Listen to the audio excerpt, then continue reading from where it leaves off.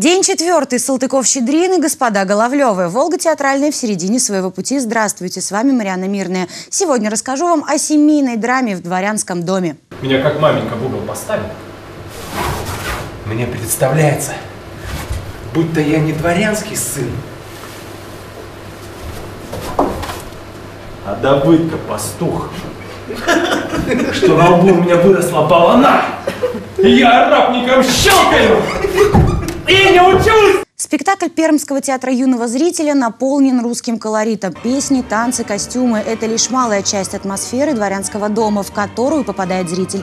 Есть и другие особенно важные составляющие хорошей постановки.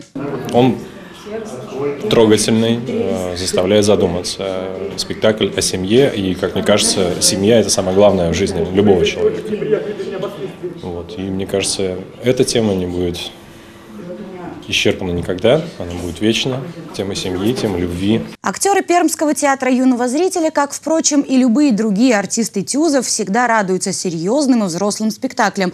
Чего греха таить, многим каждый день приходится играть то мышку-наружку, то лягушку-квакушку. Тем более ценными становятся классические постановки. Прекрасный материал, прекрасная литература и вообще поучаствовать в таком спектакле, где ты можешь э, как драматический именно артист себя проявить, это очень важно для артистов Тюза, которые ага, постоянно веселятся только, детей играют и так далее. Почему все погибли? Почему разрушились надежды, мечты, превратились в уныние и тоску? Копаться в тонкостях дворянского бытия, выносить из глубин на поверхность пороки, о которых так откровенно писал Салтыков-Щедрин. Настоящая сложная творческая работа, говорит режиссер спектакля Михаил Скоморохов. Детям дают все, машины, все что угодно, образование покупают, только вот семьи как таковой нет.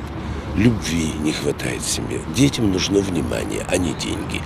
Оказывается, это понимают взрослые люди поздно. Зрители, придя на спектакль, мягко говоря, немного удивились. Зал расположился прямо на сцене. Камерность театрального действия обязывает актеров смотреть в глаза не только друг другу, но и людям. Мне всегда интересно смотреть, как э, выглядят постановки или экранизации тех э, произведений, которые я читал.